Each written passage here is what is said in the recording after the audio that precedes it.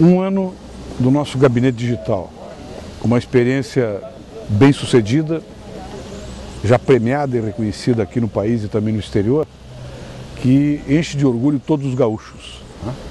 como uma forma democrática de aproximação do governador, do governo com a sociedade.